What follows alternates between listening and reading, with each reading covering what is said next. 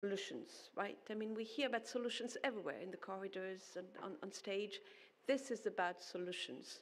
I'm not going to make a big speech, but just highlighting two key uh, messages that you'll hear throughout the two panels. One is about cooperation, and you see here a great lined up of speakers from various organizations. This is about cooperation. Cooperation is the new competition. We have to work together. The second message is about uh, nexus approach, integration. We're looking at nature-based solutions, that will be the topic of the first roundtable, and other solutions, yeah, technology, all kind of solutions. We have to mix all of these different solutions together. We're talking about jigsaw puzzle, huh? not, a, not a silver bullet for solutions. Those are the key things I'd like you to um, take out of this message. Without further ado, I'm very pleased to have um, the keynote address delivered by His Serene Highness, Prince Albert II of Monaco, and I invite you to pay attention to uh, the video, video message that he's delivering. Next, uh, I'll hand over to uh, Dr. Nathalie Hilmi from the Centre Scientifique de Monaco, and she'll introduce the great and fantastic speakers we have on today. Thanks to all of you for being here. Without further ado, let me invite the video and the welcoming message from His Serene Highness. Thank you very much. Ocean acidification lies at the confluence of these three crises. It draws attention to the effects of unsustainable human activities, as well as the way in which they affect our society, raising concerns such as food safety and food supply. And it highlights the economic consequences that are already noticeable in so many sectors. As such, acidification enables us to address these issues in a coherent manner, whereas the fight against climate change and the fight against loss of biodiversity are often dealt with separately. However, just as the causes of these crises largely overlap, the solutions to be implemented should form a whole. I'm, of course, referring to nature-based solutions, which we've talked about a lot, on which the IPCC and IPBES working for the first time together, have just devoted a significant part of their joint report. This work has highlighted the benefits of policies to better protect, manage, and restore ecosystems. These nature-based solutions should be integrated in, into our policy tools if we want to honor the commitments made within the framework of the Paris Agreement. We need to do this especially for the marine environment, which of course we are concerned with here. The preservation and restoration of marine ecosystems often unparalleled opportunities in terms of climate change mitigation. They also enable the, the, sustainable development of local communities thanks to the sustainable and fair exploitation of marine resources. And they help to strengthen carbon sequestration capacity, what is known as blue carbon. And let us not forget that coastal marine ecosystems have a much greater carbon storage capacity and over a much longer period of time uh, than terrestrial ecosystems, particularly forests. This capacity must now be valued economically. This is one of the reasons why I've made uh, efforts for, for so many years with my government and my foundation to develop and strengthen marine protected areas. These marine protected areas are currently the best tools for, for the protection of our seas, their fauna and their flora. However, although their surface area has increased, it, is, it still covers a too small of an area in the global ocean. Consequently, these solutions need to be developed as we are doing so in the Mediterranean with the creation of the Med Fund, which we launched with France and Tunisia a few years ago. And the Med Fund, as we heard, just had its uh, assembly here a few days ago. And the, so MedFund raises funds to promote and, and strengthen the network of marine protected areas in the Mediterranean. Beyond MPAs, one of the key challenges is the resources that need to be mobilized to develop nature-based solutions. The funding allocated needs to be much higher than the current 3% of the total funding for climate. In order to do so, we need to make the private sector aware of these opportunities that they offer and the possibilities of creating sustainable business models. We also need to better mobilize states and encourage them to work together. especially in regards uh, to uh, matters concerning international waters. The various UN agencies must therefore help to define feasible, realistic, and progressive protocols of agreement. Protocols that are not just sectorial, but global, with an integrated management focus involving coastal, open water, and deep sea ecosystems, and taking environmental, social, and economic issues into consideration. For all these reasons, it is vital that we now become more widely involved in these issues as a, as a continuation of this workshop.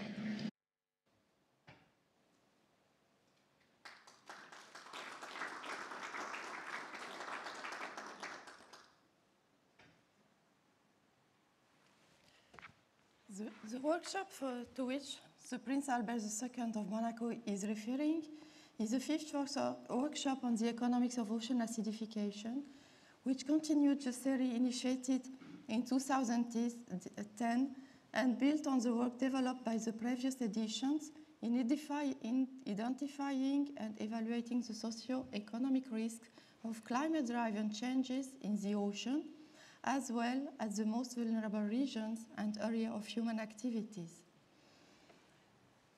The workshop focused on the use of marine biological processes to ameliorate and mitigate climate change, their benefits and trade-offs. It connected the scientific knowledge and the concept of blue carbon in coastal, open ocean, and deep sea ecosystems with the social disciplines for quantification of climatic benefits at local and global scales. Lisa Miller is a climate geochemist at the Institute of Ocean Sciences with Fisheries and Oceans Canada, and specializing in CO2 drawn down and sequestration in polar waters and sea ice biochemistry, former chair of the SOLAS Scientific Steering Committee, currently a member of the Future Earth Governing Council. Lisa Miller is going to give us an overview of ocean carbon to set the stage. The floor is yours, Lisa.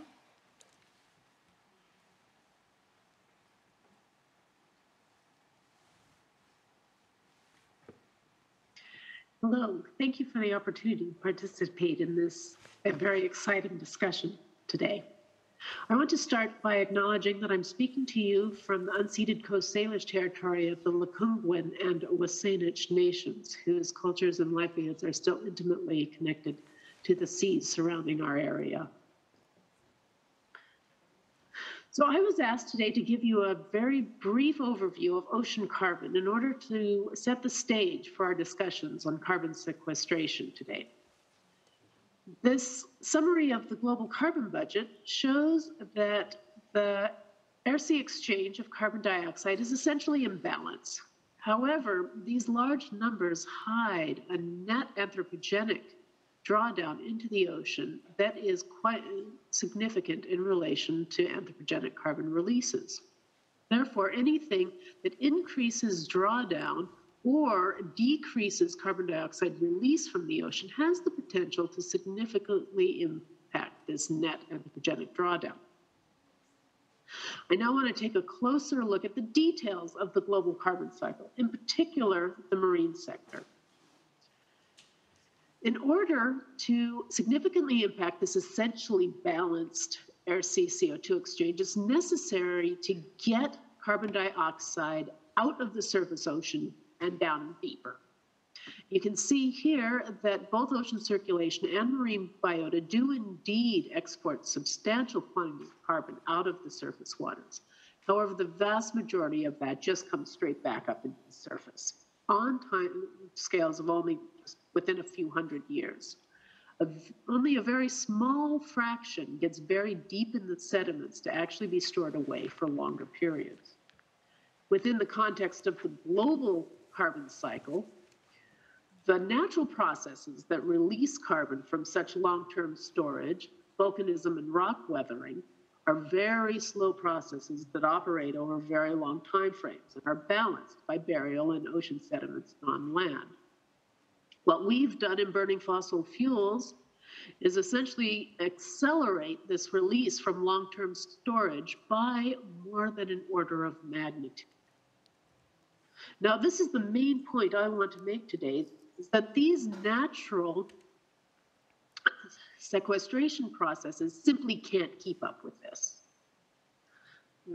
These processes cannot solve our climate problem on any short time frame, anything less than several hundred thousand years. On the shorter time scale, the only thing they can do is help us keep the problem from being even worse. Now, this is actually very important. This is an extremely valuable service the ocean can provide to us as long as we ask nicely enough. The final point I want to make is that even with successful carbon sequestration, there will be undesirable consequences that have to be acknowledged and accommodated for. And so, on that cheery note, I will finish with a challenge to the rest of our speakers and panelists today. And that is what are the tools we have? And more importantly, what are the tools we need to resolve this conundrum? How can we make sure that the ocean is able to help us deal with our climate problem? And with that, I will close and hand the floor over to Nathalie for our first panel discussion. Thank you very much. Thank you, Lisa.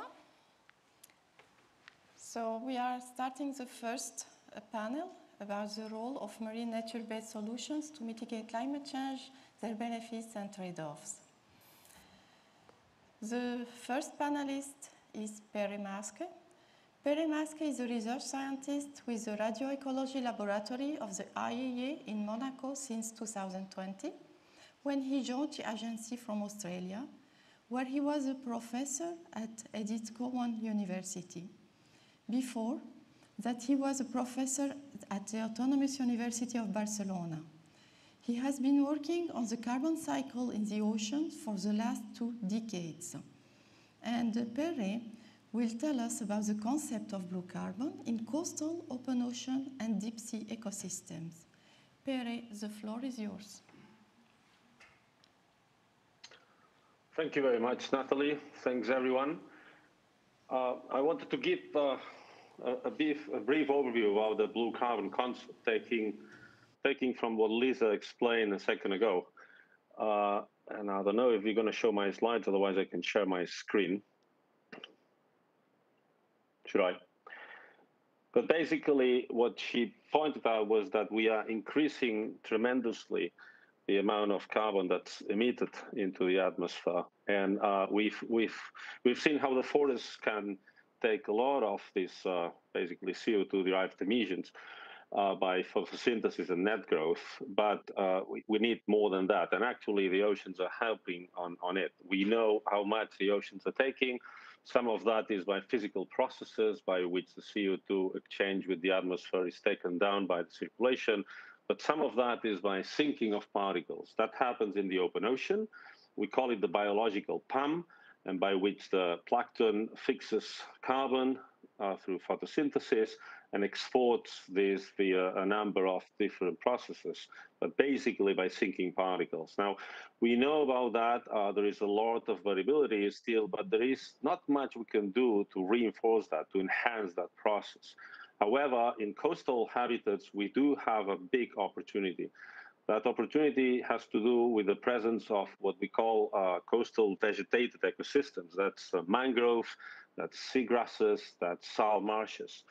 The, this kind of systems occupy a relatively small piece of the ocean surface. It's less than 0.2%, so 2 per mil. Uh, but we estimate they accumulate about 50% of the carbon, organic carbon, that's right in the ocean. And uh, that's, that's a lot, actually. And why is that so important? It's because they're very rich in accumulating carbon. It's by an order or more of magnitude that what we find in the shelf and the deep sea, and the accumulation rates are very large. We find these systems all around the place. Now, they, they've been acting like that forever, and they shall, but we're destroying them. So we all have seen images of, you know, uh, mangrove deforestation or seagrass disappearing because of a number of uh, impacts or, uh, that, that we produce. Some, some naturally, if you want, but many, many are not. Now, I'm going to finish this brief introduction with just uh, a couple of numbers.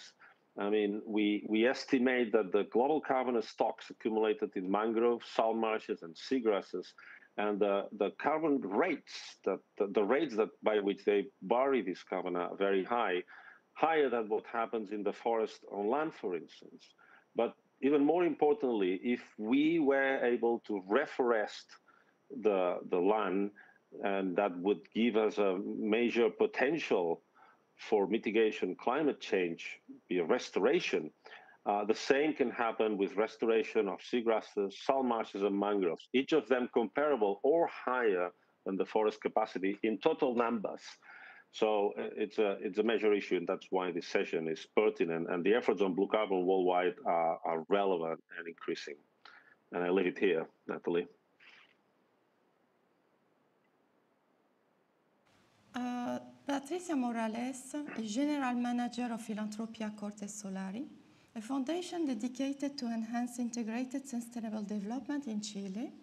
She's an economist graduated from the Catholic University of Louvain. Through the implementation of three elemental reserves, the foundation is developing concrete activities of effective conservation in the field, promoting nature-based solutions to climate change. And Patricia is going to tell us about the, the, the valuation of marine ecosystem services. Can you hear me properly? Yes? Can you hear me now? Yeah. No? Not very well. And now? Now better. Okay. So thank you for this invitation. Uh, we have tried to work around this main challenge consisting to introduce the um, marine ecosystem services in the economic rationality. I have some slides that I bring with me to, to ex expose this. I don't know if Clement have those slides with him, otherwise I, I just can't talk.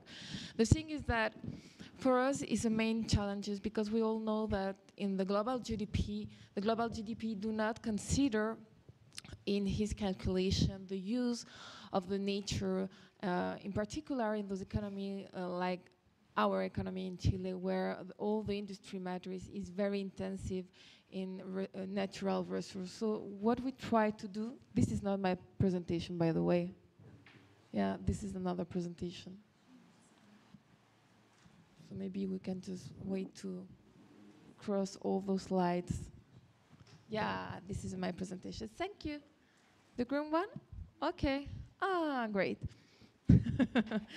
so as I was saying, um, well, we have these challenges because obviously, for one hand, the oceans account for more than 60% of the global GDP, but mainly due to the extractive and highly polluting industry, such as aquaculture and so on. And obviously, the global GDP doesn't account, doesn't take into account uh, the calculation of the marine ecosystem services in particular, and neither uh, the land ecosystem services. So there is this kind of dominant discourse consisting to say that the oceans are the future of the economic growth. But obviously, it, it doesn't take into account the social, environmental, and economic risk of the extractivist model developed until now. And this is why, from Meri Foundation, we have been trying to work around a pilot called Blue Boat Initiative that tried to protect whales not only because whales are very beautiful species and very important in the marine ecosystem services, but also because whales uh, capture carbon uh, in a very significant way. Each whales capture around 33 tons of carbon, means 1,003. So we really believe that if we try to put a value, an economical value on a price on these uh, marine ecosystem services, maybe we can change the paradigm. We can start to change the paradigm, uh, the economic paradigm of that before I have to say that the this accounting imbalance translated to an in imbalance in the GDP associated with the oceans. We have a lack of economic valuation of the negative externalities produced by the current production matrix in terms of damage and impact of those marine ecosystem services. We also have a lack of economic valuation of marine ecosystem services that could be a part of blue-green production matrix.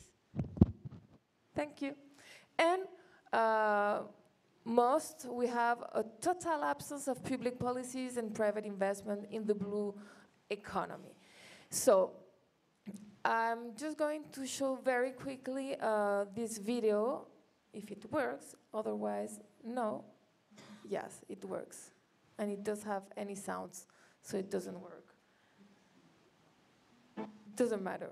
So the thing is that what we try to do is to work in marine ecosystem services from four dimensions the environmental one, the social one, the cultural one, and the economical one.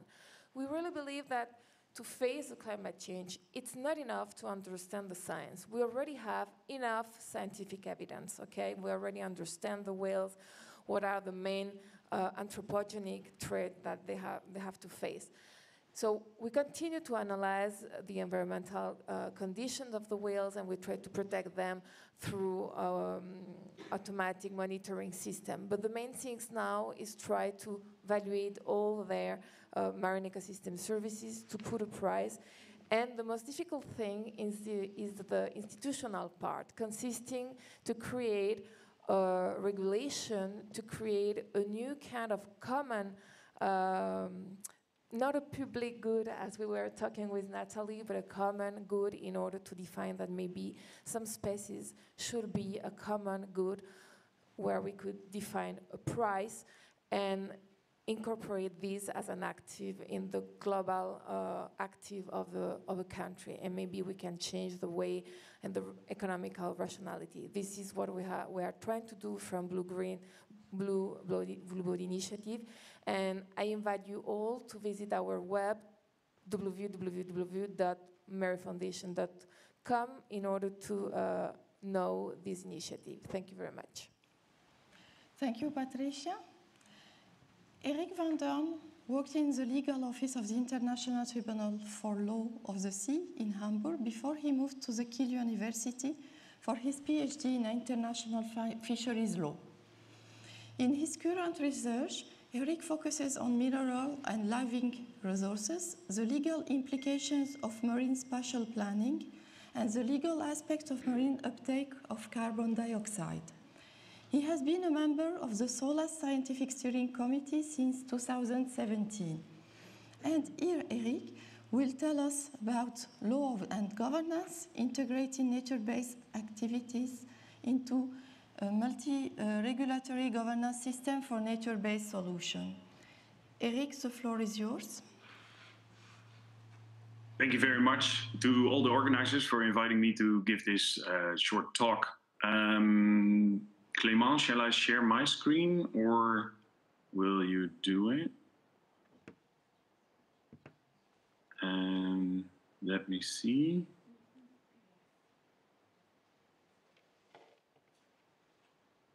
Yes, you should now be able to see my screen, I hope. Um, I will show you this slide first because I want to emphasize that not all these sustainable development goals are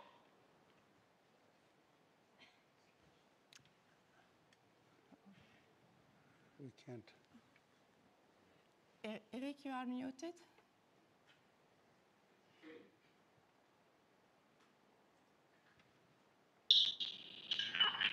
Sorry. Uh, can you hear me now? Yes. Okay. I don't know what went wrong. Um, I apologize. Um, the um, uh, goal 13 on climate action and goal 14 on life below water are obviously the goals that we um, concentrate on today. Um, it's not always easy to achieve both. If we want to have uh, increase the CO2 uptake of the ocean through natural means, this might um, be a must under the climate change framework, uh, legal framework, uh, as a sink. Um, it might, however, also um, be regarded as pollution under the law of the sea framework. First of all, I want to show you this slide, and I want to emphasize that um, within the first 200 nautical miles, the um, any natural-based solutions will fall most likely within the jurisdiction of the coastal state. Only if we have natural Eric? solutions beyond that, Excuse me, excuse me, Eric, can you put your slides in uh, wide format, please? Because we don't see them well. you don't see them. Now we do. You see them now? Yeah, but can you put it open screen? Uh, I actually have Uh, no it's other okay, means. It's okay, don't worry. Go ahead, please. Okay, good. I will do it um, uh, then uh, maybe better without the slides. Um, I want to emphasize that um, uh, No, we. it was okay. It was okay. You can you can put your slides. It was just okay. Um, then there they go. Good. Summarizing, the coastal state will be responsible within the two, first 200 nautical miles from the um, uh, from the coast for natural-based um, solutions for climate change. Beyond that, there will be no coastal state jurisdiction over such thing. Um, I'm not going to read out the definition, but this is just to show you that in 1982, states still did not think about anthropogenic climate change as much. And this is where the definition for marine pollution um, comes from, from the Law of the Sea Convention, which was concluded in 1982. The problem here, however, is that you could qualify CO2 uptake of the ocean as marine pollution instead of a solution. Um, in general, and I call this cli- slide climate um, intervention, um, but it also applies to natural-based solutions. What activities that are not forbidden under international law would be allowed, and there's no general prohibition of climate intervention nor for natural-based solutions. Luckily, however, there's not really a treaty regulating these ideas as such. Um, Existing regulation, however, general international environmental law will also apply to um, uh, climate intervention and natural based solutions. Implementation, I put that on the slide because everything hangs together with the implementation of states of international or regional law. What I want to emphasize on my last slide is that if we want to increase the capacity of the ocean to take up carbon dioxide through natural means, we actually might have to think about is there not a duty if we really need the ocean? And it seems that we do. Uh, if we really need the ocean, is there no duty to be derived from that for restoring ecosystems? And that is what we're currently working on. Thank you very much for your attention, and I apologize for the technical problems. Thank you, Eric. Uh, Lise Øvreås is a professor in geomicrobiology at University of Bergen and scientific director of ocean sustainability in Bergen. She has extensive experience from fieldwork in the Arctic Ocean and South Pacific Ocean studying the effect of climate change on biological diversity. She has also been heavily involved in working on science advice for policy decisions, both nationally and internationally, as council member of the European Academy of Science Advisory Council. She was newly elected as president of the Norwegian Academy of Science and Letters from 2022. Uh, Liz is going to tell us about education and research and higher education and integrated ocean research for sustainable nature-based solutions. Liz, the floor is yours. Thank you very much. And uh, thank you so much for inviting me to, to attend this session on higher education and integrated ocean research for sustainable nature-based solution. So the ocean has greatly showed the rates of climate change, but at a cost. The ocean has also warmed, acidified and lost oxygen while circulating patterns are changing and sea levels are rising.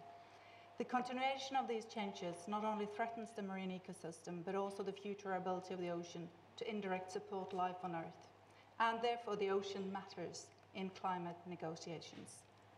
The ocean already has absorbed 90% of the extra heat energy stored on the planet, arising from increased greenhouse gases.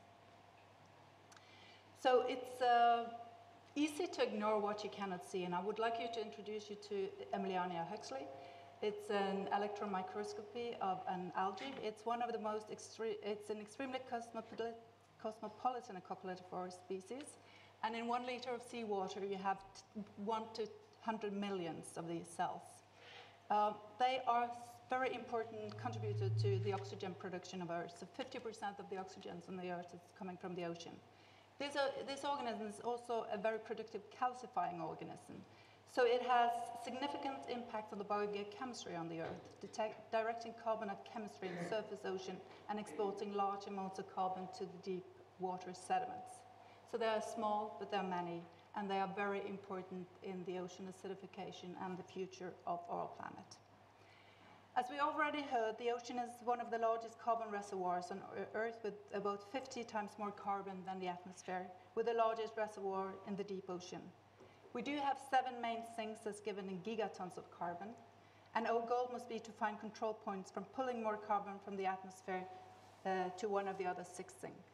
We are fast approaching climate tipping points, seen as a gateway to dangerous climate change, and we need to reduce the emissions. Therefore, we also need new innovation and action towards carbon capture for sequestration and utilization. We need to focus on next generation biotechnologies for carbon capture, uh, sequestration and utilization, supported by engineering design principles derived from ecological perspectives. So the scientific knowledge of carbon cycling and engineering solutions for carbon capture, and storage and utilization is needed to foster awareness of the problem and close the gap between the fundamental research and industrial action. So some examples of the activities we have on best practices. The uh, University of Bergen was appointed by uh, United Nations to take lead on the SDG 14, uh, International Association of University, uh, uh, on higher education for sustainable development cluster. So by doing, being part of this, we uh, established a cluster with 16 international partners worldwide that we started to collaborate on. And then uh, some of the activities that we have with this cluster is that we're doing webinars, workshops on emerging SDGs and, and targets such as reduce marine pollution, protect and restore ecosystems, among other. We have also, as uh, on the slides, uh, uh, uh published, uh, now in finalizing publishing a publication on higher education engaged with SDG 14 Life Below Water, where we have invited universities and experts worldwide to contribute to this publication. So this is going to finish next week, and this is an example of how we're using our international network to promote research and collaboration and to, de to detect science gaps from the science policy interface. We also partner on the Ocean Teacher Global Academy training courses hosted by Intergovernmental Oceanographic Committee programs that contributes to the United Nations Ocean Decade. So through this, we also pr uh, provide international courses for higher education that is open for, for everyone to attend. Today we also uh, earlier uh, was uh, uh, in, informing about the Norway Pacific Ocean Climate Scholarship Program that is uh, just started, which is, which is an ambi ambitious and interdisciplinary partnership on research and PhD training between the long-term partners, University of Bergen and University of the South Pacific. This is a unique interdisciplinary program where 24 young talents are focusing on the critical field climate-ocean nexus. And this has already been included in the first call for IOC UNESCO Ocean Decade Nexus Long-Time Partnership. Finally, I will also mention that we have a new interdisciplinary SEAS fellowship program where we will run for the next five years. In this program, our university will be training a new generation needed for the ocean uh, in the future to, to uh, educate new ocean leaders and also uh, this has been uh, funded by Un Un uh, European Union uh, also and the University of Bergen. So this SEAS fellowship program is an important investment that will shape the direction of our marine research right now and into the future. So implementation on the whole institution approach at all levels of education is important and pressing goal that will contribute to achieve both local and global sustainability. And by these activities, we want to bring SDG 14 to the forefront of higher education. So thank you for your attention. Thank you, Liz. Uh, Ralph Chami is Assistant Director and Chief of the Financial Policies Div Division in the Institute for Capacity Development of the International Monetary Fund. Between 2014 and 2020, he was in charge of developing the capacity development programs for, for economists at the IMF and member countries. Ralph Chami is an experienced, experimented specialist in macroeconomics and fr of fragile states. He also developed various innovation researches on valuing nature-based solutions to climate change, focusing on large mammals like elephant and whales, for instance. Ralph, the floor is yours. Thank you, Nathalie. Thank you, Sylvie. Thank you all for coming. I, I was asked to talk about how to take nature to the markets or how to bring markets to nature. Um, when you, I'm a financial economist, I'm not a scientist. So when you talk about markets, the first thing comes to mind is demand and supply. So when you want to take nature to markets, demand is for what and the supply is of what.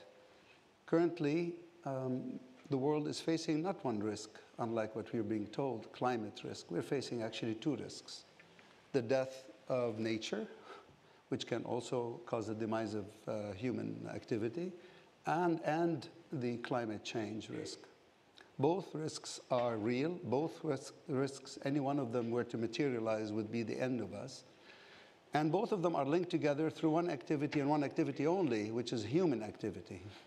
So, uh, you know, fix the human activity, you may be able, we may be able yet to fix, uh, reduce the risks to both natural capital and to climate risk. But from perspective of markets, when I look at uh, the climate change risk and I look at the Paris Accord, Paris Accord, be it rightly or wrongly, it's all defined in terms of capturing, sequestering, reducing carbon dioxide. For a market economist like me, that means there's an insatiable demand for, for carbon sequestration reduction.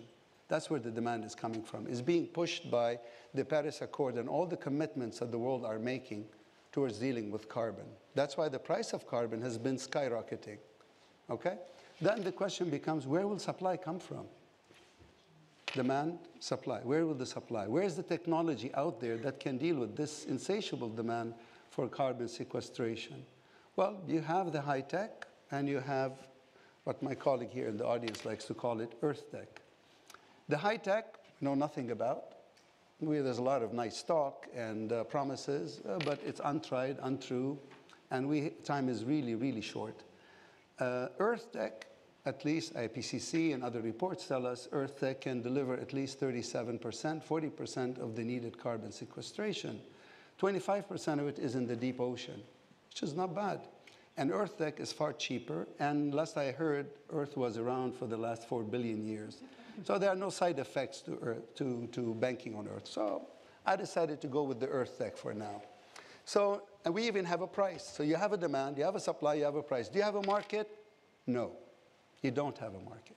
How do we, because I hear a lot, I've been here for the past week and I hear a lot uh, nature-based solutions, we po waxing poetic, and I'm a market economist, I'm a practitioner. There is no market yet. So how do we really create a market for nature-based solutions? In order to do so, you have to start first with the science. As our colleagues here already just said, scientific knowledge is the, at the crux of this. It's the science that told us that the whales capture carbon. 33 tons, 9 tons actually on their body, which times 11 over 3 is 33 tons of carbon dioxide, and multiples of that through, through their fertilization of phytoplankton. Fabio Berzaghi, he's actually here in the conference, and his colleagues discovered that the elephants in the forests of Africa enhance carbon sequestration in the bark, in the trees themselves, by 7%. And when you, when you lose those elephants, the forest loses its ability to capture carbon. Science is the one that told us mangrove, seagrass, salt marshes, all of these bodies also capture carbon. So what science is telling us is that nature is incredibly valuable, that biodiversity is valuable. Is that enough? No. Why? Because I come from a world of policymakers. I've been at the IMF for 23 years. We don't speak language of science. We speak the language of dollars and cents. Markets speak the language of dollars and cents. If you want to talk to the markets about the value of nature, you have to translate the knowledge that is in the science to the language that we can understand. That's what I did with my colleagues a few years ago. We, we, we sat with the scientists and we said, okay, tell me, what are these benefits? And they said, well, the elephants capture all this carbon. Of course, I live at the IMF. We have a price for carbon. So you, you, you have to do some bit of algebra and mathematics, but you can actually capture the value of, an, of a whale, what it is, $2 million lifetime value of a whale in terms of just carbon sequestration. For the elephant, $1.75 million. For seagrass, would you like to know what is the value of seagrass, just carbon sequestration globally? Over a trillion dollars. I haven't even talked about seagrass and, and fish stocks and flood control. So you have accounting, which comes from the science. You have now the valuation. It converts natural capital to something we finance people call financial asset. But is it an asset that you can put on, on your balance sheet? No. Can I put an elephant on my balance sheet? No. Can I put a whale on my balance sheet? No. How do I convert it to financial capital? It's through the law. So what our colleague here was talking about. You need the law. You need policy action. That's the third pillar that I show you here. You need, you need, if it's the state, the state has to say the whale belongs to the state and it has a value. If you hurt that whale, it's immediate. We don't want any more songs or poems about the sea and how much we love it. We're killing it with love. We need action. That's the action that the policymakers could take, is to declare nature a treasure. If it's in a country, a national treasure. If it's to the world, it's a world treasure. Why?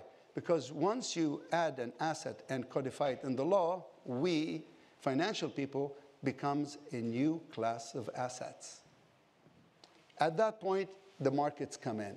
They say, wait a minute, this is a new class of assets. If you hit a whale in the Gulf of Corcovado, in Chile, the Chilean government is going to penalize you $3 million.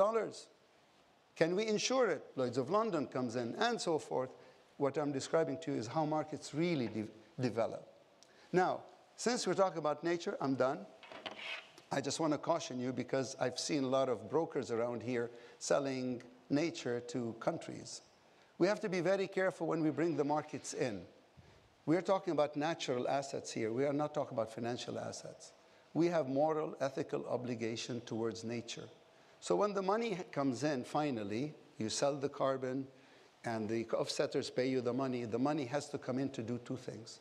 To look after the asset in perpetuity, meaning we got to look after these elephants and whales that are providing the service in perpetuity.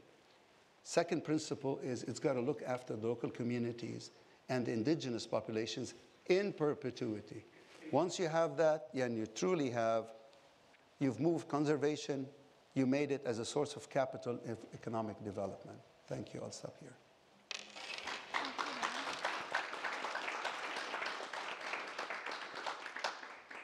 Finally, carbon capture and sequestration is a multidisciplinary field of research. The first panel focused on nature-based solutions. The second panel will consider the technologies of carbon removal and the industries.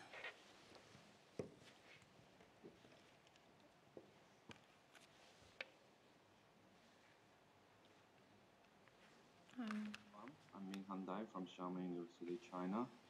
For Paul's introduction, I'm elaborating just a bit ocean-based carbon dioxide removal, or CDR, from techniques, potential, and research needs. Based on ocean carbonate, biological, and physical pumps, there are essentially three pathways to remove CO2 from the seawater.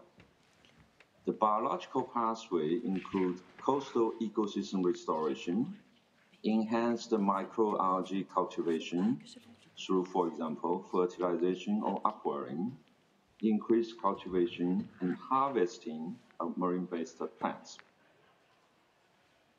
The chemical path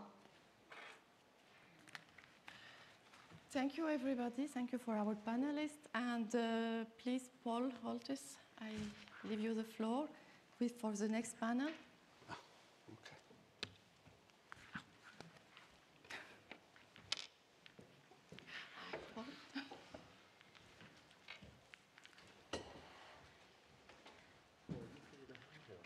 This is the.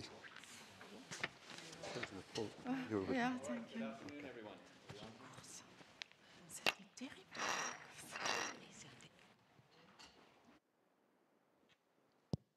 we go. Good afternoon, everyone. So we're switching to the second panel now. And uh, Sebastian, come, you want to come down here? Great. My name is Paul Holthus, and we're out of time in many ways. So we're out of time because we need to fix our climate solution, our, our climate situation with solutions that can work now. And this is where the ocean comes in. As we heard from the previous panel, the ways in which CO2 sequestration, CO2 removal uh, is critical to what we need to do now. The Paris Agreement has established that we need negative emission technologies. By far the biggest carbon sink, as we know, is the ocean. And so this combination, as, as Ralph was saying, of, of solutions, earth-based solutions and technology-based solutions, the ocean provides a tremendous set of opportunities for us. I am the founding uh, president and CEO of the World Ocean Council. We are the global blue economy business and investment organization. Uh, we work to bring together all of the ocean industries across the sectors, shipping, fishing, offshore energy, aquaculture, tourism, ports, etc., as well as the investment community to work together on advancing ocean solutions. So we have pulled together the industries. One of the, one of the uh, key areas in which we're working, and we've been working, and personally I've been involved in this since the, uh, the late 2000s, is the role of the ocean in, in carbon sequestration.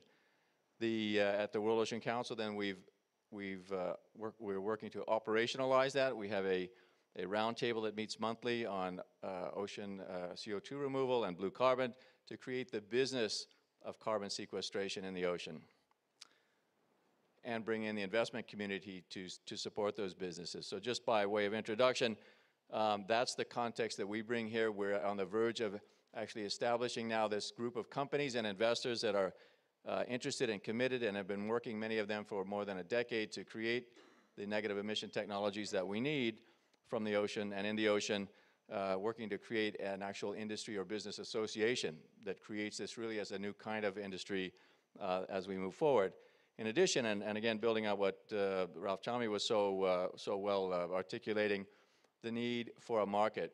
And so really working to establish the buyers of that, uh, that carbon credit, that carbon sequestration that can come from the ocean, and in particular, to link ocean-based carbon credit opportunities with ocean-based industries to really get the maritime sector to think about if they're going to get make commitments, which they are, and we've heard so many this week, uh, commitments towards net zero, towards, towards uh, uh, being responsible stewards in the carbon cycle, to focus particularly on the role of the ocean in, in, in solving that problem and creating that market. So maritime to, to marine, so maritime industries to the marine carbon situation. So we have today, and I'll stop there, and as we work uh, on our side to develop the business and investment community and the business planning for the role of the ocean in carbon sequestration. So we have in this second portion of today's, um, uh, today's session uh, a panel then focusing on the technologies and the role of accentuating and, and developing the, um, the, uh, the ocean as a source of carbon removal and sequestration. And so first we're going to see this, uh, we have uh, Dr. Minhan Dai, who's professor of marine biogeochemistry at Xiamen University and also a part of the Future Earth um, network of scientists to speak about the different marine carbon dioxide removal techniques and pathways. So with that, we can go to the video that had just started to play. Thanks. I'm Minhan Dai from Xiamen University, China. For impulse introduction, I'm elaborating just a bit ocean-based carbon dioxide removal, or CDR, from techniques, potential, and research needs. Based on ocean carbonate biological and physical pumps, there are essentially three pathways to remove CO2 from the seawater. The biological pathway include coastal ecosystem restoration, enhanced microalgae cultivation through, for example, fertilization or upwelling, increased cultivation and harvesting of marine-based plants. The chemical pathway include ocean alkalinization, electrochemical extraction of CO2 from seawater, and finally, physical transport, which is the downwelling of seawater as a means of sequestering CO2 dissolved in the up ocean waters. I'll give you two examples. One is iron fertilization to stimulate nitrogen fixation for carbon sequestration in ocean desert or in oligotrophic systems. In these systems, there are preliminary evidence showing that iron limits nitrogen fixation. Therefore, with addition of iron, you have the potential to stimulate nitrogen fixation, thus enhance the carbon transfer from the surface ocean to deep ocean. The second example is artificial ocean alkalinization. It essentially involves dissolution of carbonates or silicate mineral, thereby increase alkalinity of the ocean to chemically increase the carbon storage capacity and thus increase the CO2 uptake. The core benefits of marine CDR include combating climate change. This is a CDR approach without land use change. And the marine CDR has the potential to keep ocean in synchronization with atmosphere, which is very crucial in low emission scenario. There are some other co-benefits of marine CDR, which are adapting to climate impact, synergies with existing industry and other ecosystem service. The potential of marine CDR have also the scale, its scalability and the synergy in between different pathway or different marine CDR techniques. There is also possible issues involved in any of the marine CDR techniques. They are scalability, efficacy and cost, permanence, side effect in short, small scales, and the long-term large scales. And also we know that we are still lacking of governance structure which will be covered by following speakers. After all, I think I have two key messages to convey here. One is any marine CDR technique needs thorough research and assessment. And also I have to point, carbon is only one of the key ecosystem service. With that, I'd like to thank you all very much and uh, we're following this uh, dialogue. That was great. Uh, very concise overview from Minhan. And we'll, we'll move on now to talk about risks and opportunities. And I just highlight also the, the need for very careful, uh, considered development of the prototypes and the opportunities in ocean carbon sequestration with very strong monitoring and surveillance uh, and reporting by third-party, uh, objectively verifiable um, data. And I think um, we have uh, to, to really look at risk and opportunity. We're very honored to have Shaun Fitzgerald, Director of the Center for Climate Repair at Cambridge University, um, to join the panel now. So Shaun, hopefully the technology is working. We see you and hopefully we can hear you. Go ahead, Shaun. Paul, can you give me a thumbs up? Can you hear me? Fantastic. Well, look, it's a very, very great pleasure to be able to join you uh, remotely today. I will be with you in person uh, probably from late on tomorrow afternoon. I'm going to talk very briefly about the two topics uh, that, uh, that Paul alluded to, which are the risks and opportunities. So my frame of reference is I always like to start on the positive. So I'm going to look at the opportunities first. And the way that I think we need to think about the, uh, firstly, about the oceans and in its role in um, carbon sequestration is ensuring we just ask ourselves the question, about whether we are um, whether we're just in the game of preserving uh, the oceans. Are we are we just going to want to try and preserve what we have left? And I would argue no. Um, I would argue actually the state of the oceans that we have at the moment are far from what they should be. In fact, far from what they were. And therefore, I think the the first mindset is to think about the, the use of the of our technologies and approaches to try and regenerate the oceans in terms of its biomass function. Uh, and in particular, then for today's uh, relevance, is when a, an ocean is properly regenerated with its full diversity uh, in terms of biomass and the way that the things will then function, increased biomass, what does that then mean for A, the carbon content stored within the ocean, number one, and then number two, as a result of the natural processes involved, what does that actually really mean regarding the flux of carbon from the surface to the ocean bottom. So a fully regenerated um, ocean, I am very struck by reports of maybe even 400 years ago, uh, when artists' depictions of an ocean teeming with life, whales aplenty on the surface waters, were these just nice stories? Was it fiction? Or should we have a degree of humility and recognize that actually what we're reading, what we're seeing, were in fact tales of what was actually really observed. And I think that's the first thing we need to really think about in terms of when we're when we're looking at the oceans, is what of its what's its role as a potential carbon carbon sequestration source, but importantly, it should already be doing a lot more than it really is as a result of man's activities of the destruction of the whaling community, for example, which we have started, you know, hundreds of years ago. It isn't just modern day uh, activity. This is something that's been going on for a very long time. And then, of course, more recent activity uh, leading to pollution in the oceans, which has therefore further exacerbated these problems. And then the third opportunity is looking at what does a regenerated ocean really look like in terms of therefore supporting the economies that will feed off uh, the ocean and use this for livelihoods.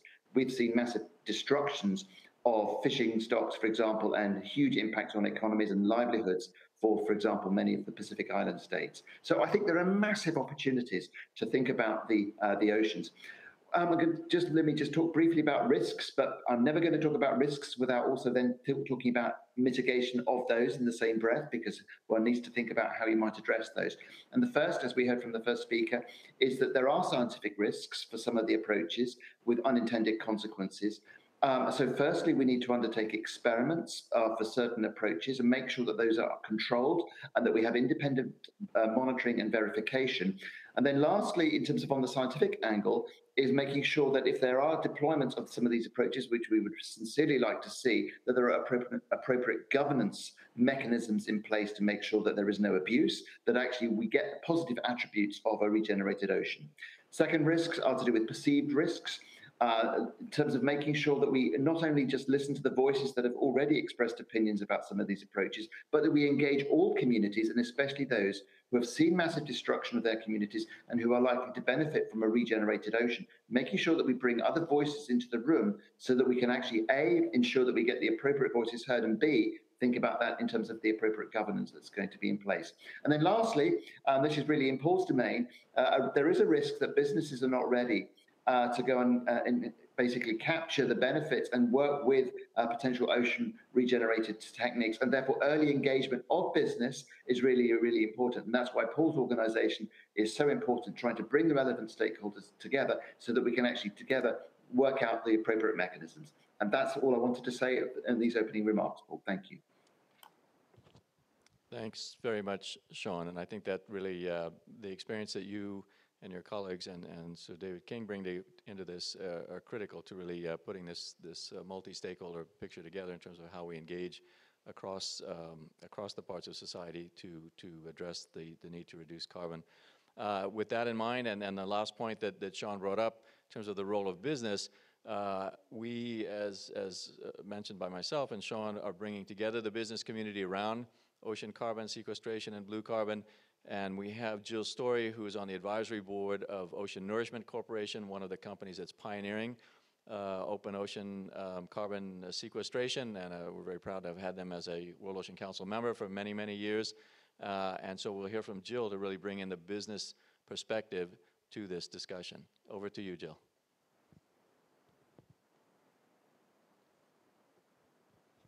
Jill, we're, we're not hearing you, unfortunately. I don't know if it's, that's on your side.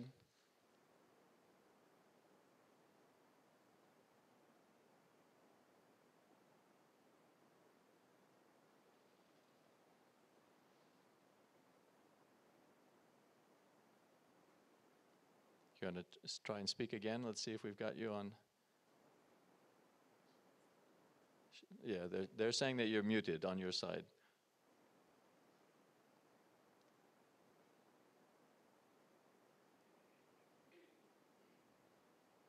Well, is that working? There we go.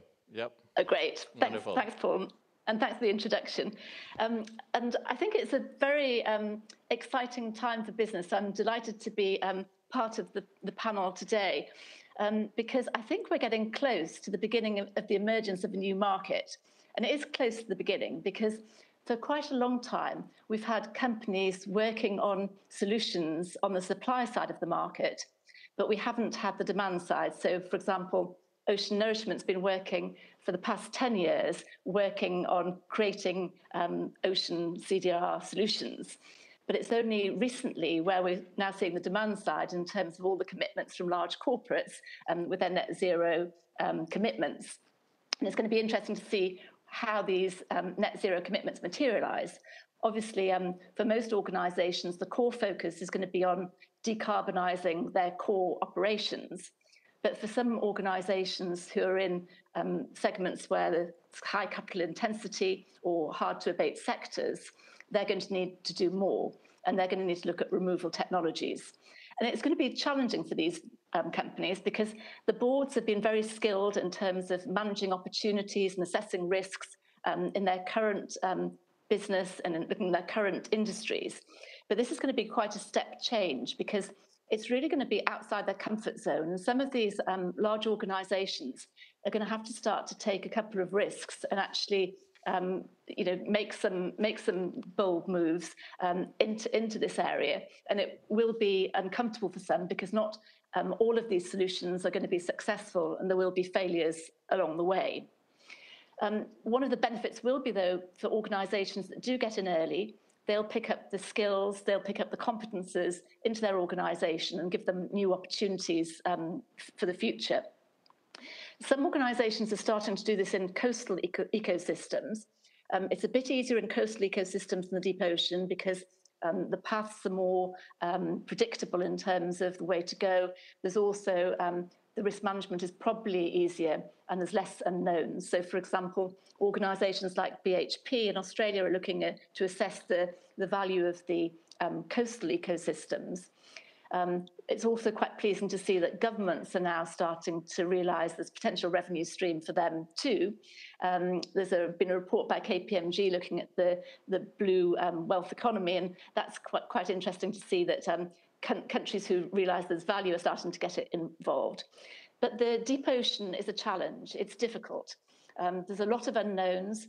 Um, there's a lot more research that needs to be done um, careful um, assessment and um, rigorous um, science to make sure that um, the consequences aren't um, worse than the solution, and that people can manage this in terms of policy and regulatory frameworks.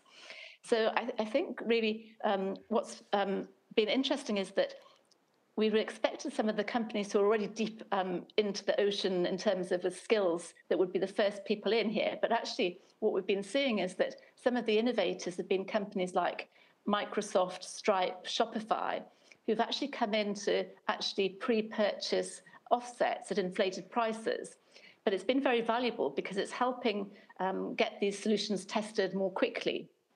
And, and then we've got organizations like Paul's with the World Ocean Council and um, his vision that's actually been really um, um, making great strides in terms of bringing together um, business industries with the solutions because often for um, large corporates, it's difficult for them to know where to find the solutions and Paul's playing a major role in creating that um, connectivity.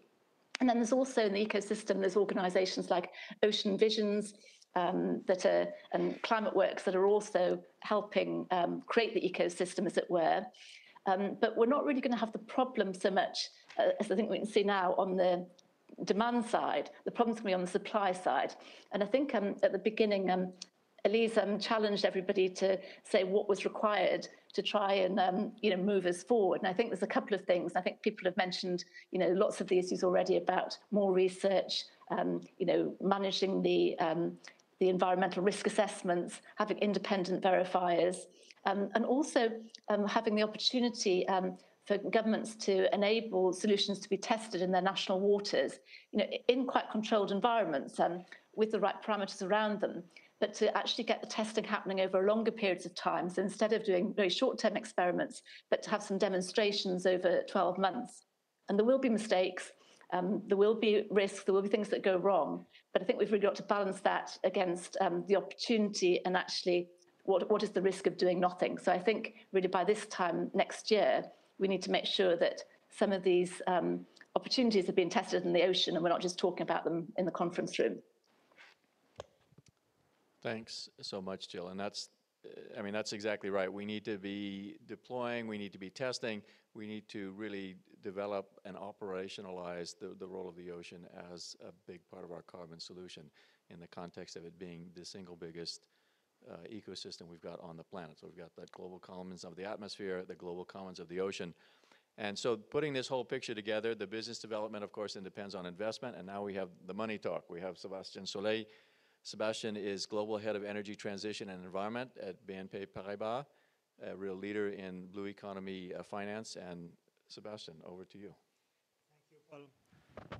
Um, yes, so in BNP Paribas, so we do quite a lot of things, and we have a foundation that is supporting uh, research projects for at least one decade uh, on climate and biodiversity. And among these projects, at least three of them are uh, really focused on ocean uh, biodiversity.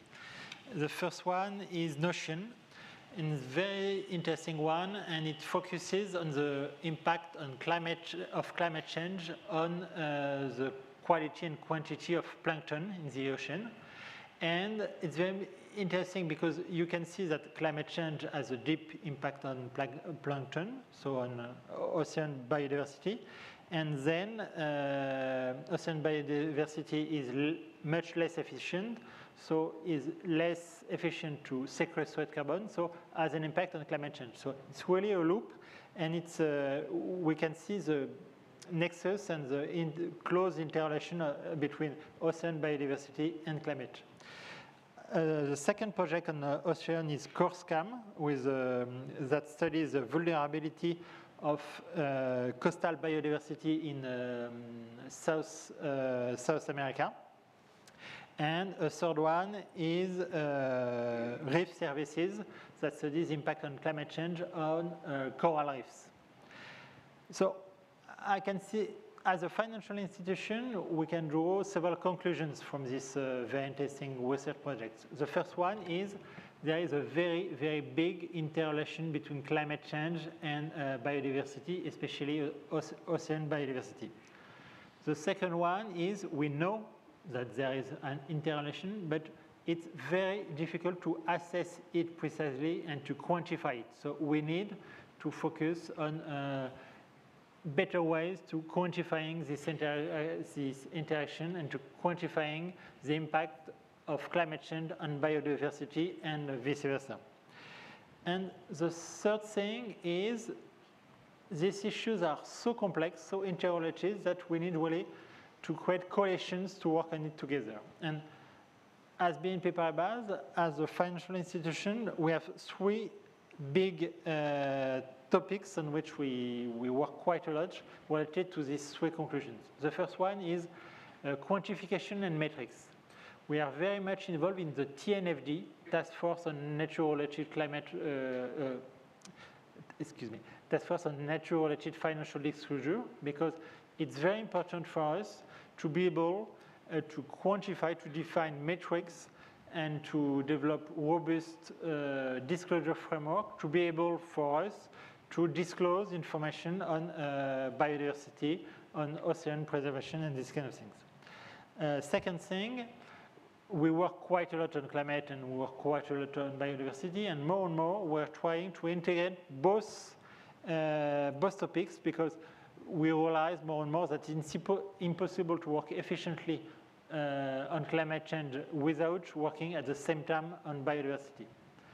And third thing, we need to create coalition and we need both public and private finance to make it work. And that's why we are very much working on blended finance, uh, bringing together private um, and public finance. And a good example of this is a global fund for coral reef. So it's uh, um, we contributed to launch this uh, fund, this international fund, with many um, uh, very interesting partners, so philanthropic, uh, UN organizations, uh, private uh, entities. So there is, for instance, the Foundation Albert de Monaco involved. And uh, with all these relevant partners, we managed to create a blended finance tool to uh, make money converge uh, in the preservation and restoration of ocean and specifically coral reefs. Thank you. Thanks very much, uh, Sebastian. We, um, we have uh, about four minutes left, apparently. Um, and so I'd like to open up the floor for questions. I'm not sure if there's um, also ways for people uh, online to, to ask, but uh, we have a few minutes. And I just, uh, just as people, if people want to indicate if they've got a question or comment to make, uh, just to pull a few of these threads together as well from what we've heard today about the importance of governance and the political license and this, uh, this uh, sense that this is a very complicated and controversial area to be moving in and the need for the social license to, to be able to move forward with ocean carbon sequestration. And that needs to be then underpinned by good data, good science, good risk assessment that we pull together in a very transparent way. And as Jill was saying, you know, business is, is ready to, to work carefully, responsibly forward. The investors are only really interested in companies that will move forward very carefully. Uh, the role of MRV monitoring, reporting, and verification is essential to all of this, which creates then additional business opportunities for the technology and the analysis to be available from uh, technology providers, from the satellite, the growing satellite industry uh, that's providing many thousands, possibly, of microsatellites. Also in situ monitoring at the surface through the water column and linking those kinds of data so that we know two things about, about um, uh, blue carbon and, and ocean uh, carbon sequestration. One, we need to know, and the investors really need to know, and the market needs to know, is the amount of carbon being sequestered that was proposed in the business models, in the business plans? And secondly, are there, uh, are we sure that there are not unacceptable, unanticipated environmental consequences? So we need the investors, certainly, the businesses themselves, governments, society, we need to know that those two questions are being answered. So there's a key role for, for that. Uh, and linking, um, as Sebastian was saying, the biodiversity, climate, and ocean um, uh, imperatives here together as really a, a, a nexus and integrated um, uh, effort here. So any, uh, any questions or comments uh, from those of you physically here?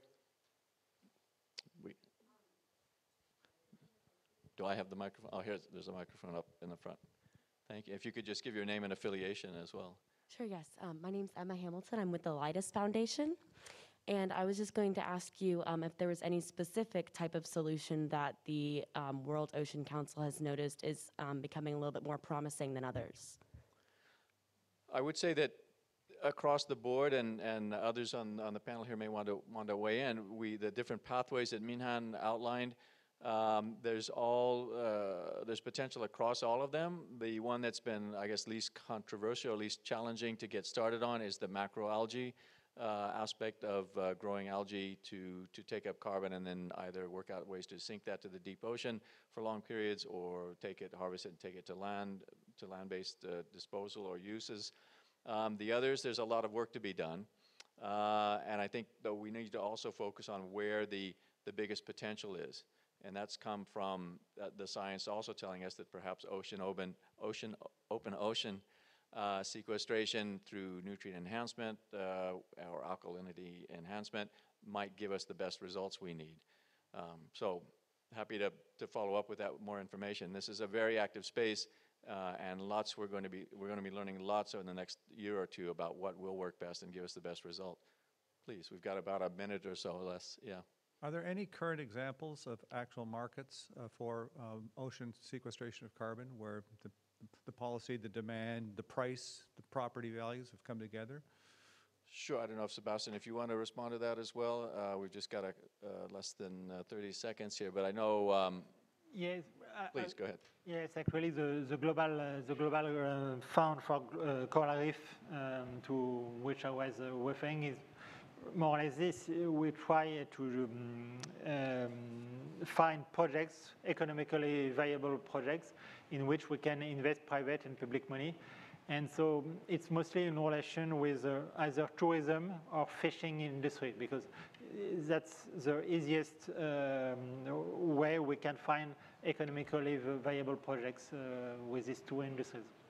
And a couple of the big technology firms that have been investing in in carbon sequestration, and they have very rigorous uh, requests for proposal or requests for ideas and evaluation. They have, uh, there's been, I think, three or four companies that they've invested in. So the money is starting to flow to ocean, ocean and coastal-based uh, sequestration opportunities as a part of a business uh, development. We're going to have to wrap up and uh, really appreciate all of you being here, all of you that were online, the four panelists, and the panel that came before. And this is active space, watch this space. Hopefully next year we're looking at companies reporting on how much carbon they've sequestered in the ocean in a very safe and responsible way and driving forward with this huge important solution to our climate challenges. Thanks very much.